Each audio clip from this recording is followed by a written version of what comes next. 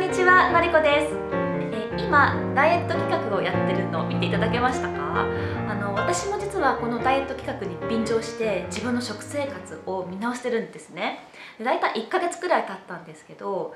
まあそこそこ健康的な食生活を送ってきていたつもりなんですが今までと本当に違うのは小麦粉を取らないこととあと砂糖を本当に取ってないですね。この2つが今までの食生活と比べて大きく違うとこなんですよ。でどんな変化があったかっていうと、まあ、体重は1キロくらいスッと痩せました。でももともと私自身は、まあ、ダイエット目的ではなくて、えー、どんなものかやってみようっていう好奇心から始まっていたんですけれどもすごく嬉しい変化が一つあってそれはあの喉の調子がすごくいいんですね、えー、動画でも実は前にお伝えしてるんですけど一昨年くらいに声帯炎になって本当に声が出なくなった時があったんですよ。でそれからもうずっ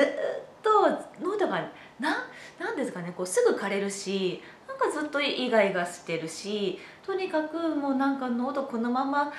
おおばちゃんの声になっていくのかななんて思ってちょっと悲しかったんですね。でも最近すごく調子がいいのでこれはきっと小麦粉のせいかなって思ってます。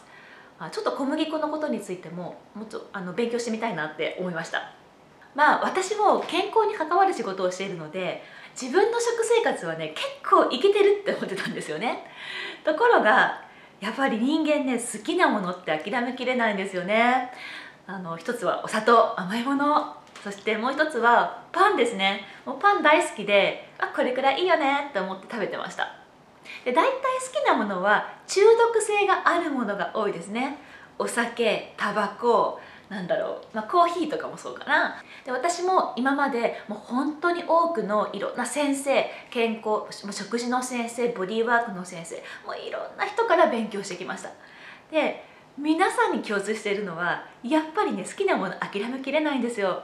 である先生はお酒はいいんだよっていうしある先生はタバコはいいんだよっていうしをあの人間って面白いなと思いました。自分のライフスタイルを見直すってすごく大事だなって思いました。私結構これでいいんだと思っていてもあの実は自分の健康にとってあまり良くなかったりすることもあるので、まあ、きっかけはダイエットでもいいし綺麗になりたいでもいいと思うんですけれどもそこから何か未来の健康につながっていくような選択ができるようになったらあのいいよねって思いました。でまたダイエット企画の方の動画もよかったらご覧くださいね。では見ていただいてありがとうございました。バイバーイ。